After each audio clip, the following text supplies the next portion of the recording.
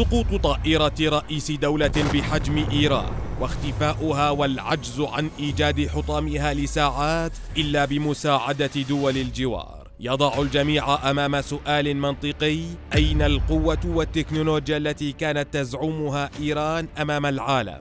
ولماذا قد يقتل رئيس طائرة صنعت عام 1968 رئيس الذي كان في طريق عودته من افتتاح سد على الحدود مع أذربيجان.